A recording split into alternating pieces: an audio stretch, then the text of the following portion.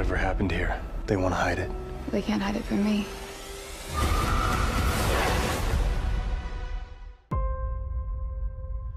Whatever happened here, they want to hide it. They can't hide it from me.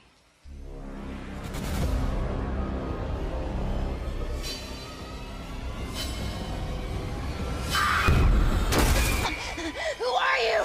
Rachel! What did you see? We should not have come to Metropolis.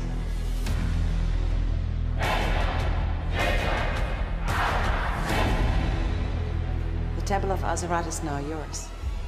Welcome to the ancient world, Mr. Luthor. Soon the gods will know your name. I can assure you, the gods already know me. Lex Luthor. I'd like to meet in person. Luthor got caught up in the occult. He's the only man Bruce Wayne was ever afraid of. Superman's not afraid of him. Neither am I. You should be. We're dealing with the supernatural, and that scares me. My name is Jinx. And this is the person we're going to for help? Good magic versus bad magic. Dick Grayson, deal maker extraordinaire. Hard pass. Okay, I don't know whatever all this is, but we do need your help.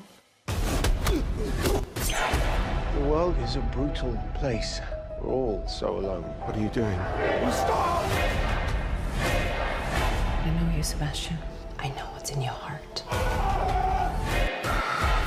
Who the hell are you? It's just a hunch, but I'm gonna assume she's a bad guy.